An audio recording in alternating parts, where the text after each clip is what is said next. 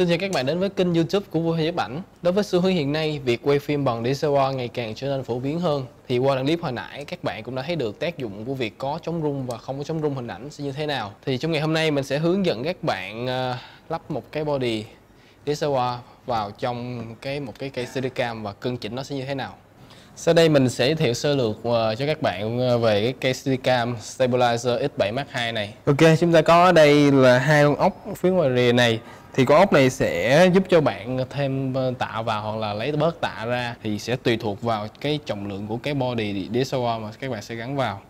Chúng ta sẽ có bốn con ốc ở phía đây để giúp cho các bạn có thể là kéo dài hay thu ngắn lại cái phần tạ của cái CD cam. Rồi, cái phần con ốc này sẽ giúp cho bạn có thể nới cái cây CD cam dài ra hoặc là thu ngắn nó lại. Chúng ta có một cái phần đế ngay đây để có rất là nhiều lỗ ờ, khoan trên đây để các bạn có thể tùy chỉnh cái vị trí đặt của cái body. Cái DSLR sao cho nó được cân bằng nhất. Chúng ta có hai ốc phía này để có thể dỡ cái phần đế lên và các bạn có thể siết con ốc cái, cái body vào.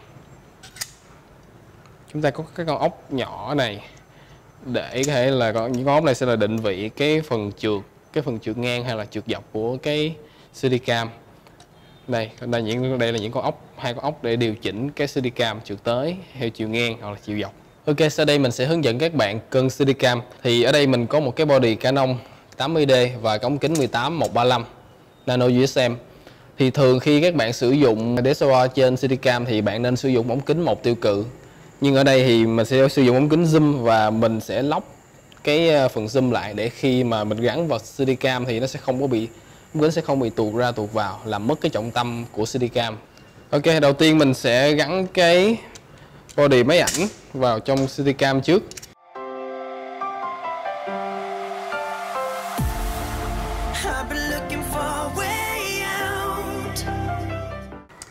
sau đó mình sẽ chốt vị ờ, vị trí của cái CD cam này Dạ. Ok, chúng ta sẽ cân cái phần trục này trước. Thì các bạn sẽ cầm máy như thế này. Và để cái cây ngang như thế này và buông ra.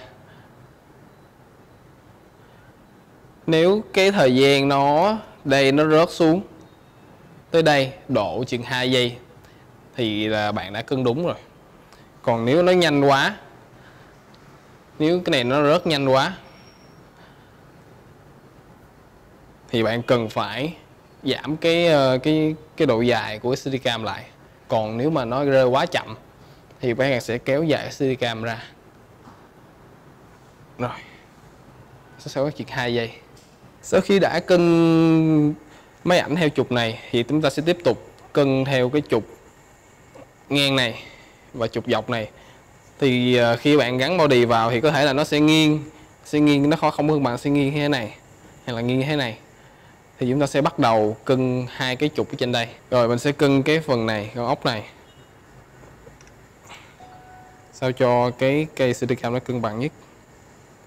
Sau khi cân cái trục này xong, các bạn sẽ quay qua silicam như thế này và cân tiếp trục này. Các bạn cần cân làm sao cho cái cây silicam nó sẽ thẳng thẳng xuống mặt đất mà nó không bị còn bị nghiêng theo chiều nào cả sau khi cân xong thì các bạn hãy nhớ là mình siết những con ốc định vị lại nhé.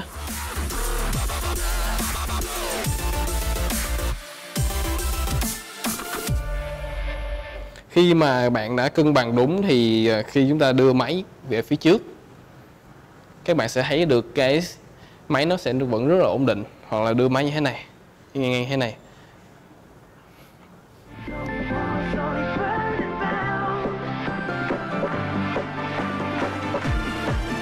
Cảm ơn các bạn đã theo dõi video của mình. Nếu thấy hữu ích, đừng quên like và subscribe kênh youtube của Vui Hậu Nhiếp Ảnh.